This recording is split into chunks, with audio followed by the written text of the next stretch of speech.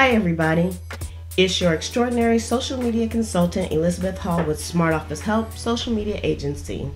And today I wanted to show you some things to look for when you're participating in LinkedIn groups. Now, participation in LinkedIn groups is a great way to gain additional visibility for your brand or your business. So, it's highly recommended that you do so. If you don't have a LinkedIn profile, you should definitely set one up.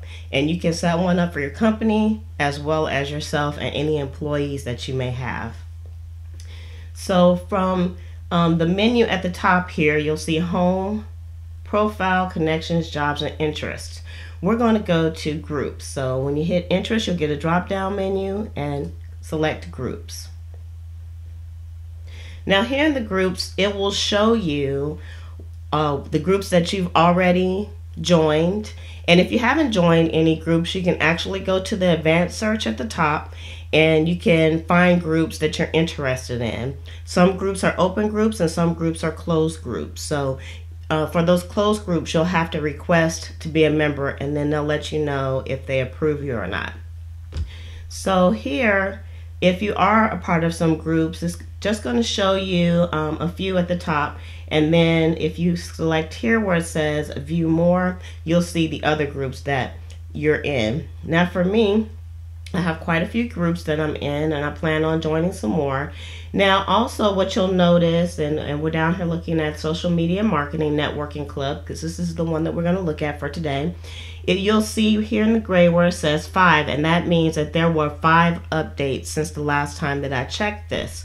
So let's go ahead and we're just going to click on this group.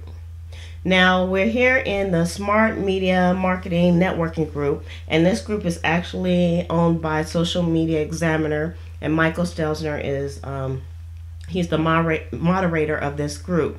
Um, he may have some other people moderating, but this is actually his group. So, what I wanted to show you is a couple of areas here in the group. First of all, we need to know what the rules of the group is before we start participating. So if you go here where it has the I, that's for information, click on that button.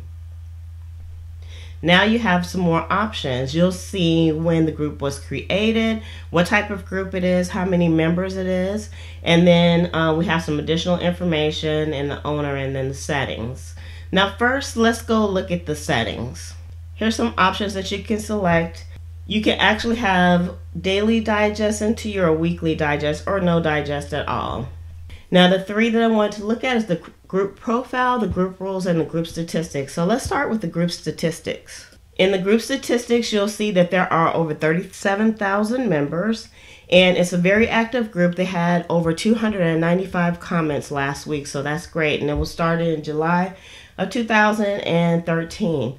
And then there's some additional demographic information that you can use. So if you go here, it'll show you the demographics of the group. It'll show you uh, the growth of the group, which has been consistently growing. And then it'll also show you activity because of course you want to be in an active group. Now let's go back to the information. Now we're going to go to the group rules. And here in the group rules, it's going to tell you what's allowed to be posted and what's not.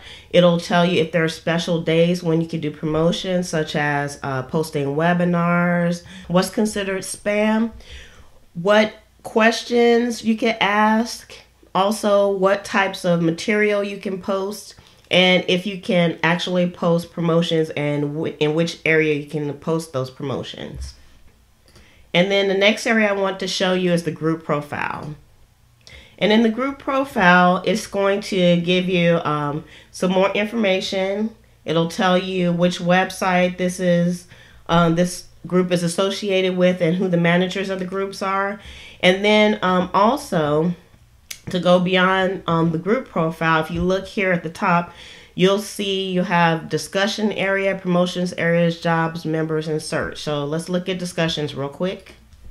In the discussions area, this um, most mostly as a industry standard is where you can post things like the questions that you may have, any articles that you would like to um, um, promote, non-promotional in nature though. So it's mostly like blog posts and like uh, informational content that you can post there and also again like questions LinkedIn is a great place to post questions for your peers because you get really good answers back.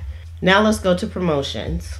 And here in the promotions area, this is more like where you would promote, like uh, maybe some tools that you might have, some resources that you're selling. Maybe you have a book or webinar, things of that nature. And again, you have to check the rules to see if you're able to post that type of information. And then we're not going to go to the other ones, but in the jobs, if anybody had any jobs that they wanted to post, um, job listings, they could do that there as well. And then um, the members is just a members directory. And that's pretty much it. So that's it for what you should look for when you're participating in groups. If you have any questions, please leave those in the comments below. I love interacting with my uh, viewers. Also, make sure that you go over to smartofficehelp.com and join our socially informed community by signing up for our email list. And that way you'll get notified when there is more free social media advice available. So, with that, go out and grow your networks using social media. Have a great day.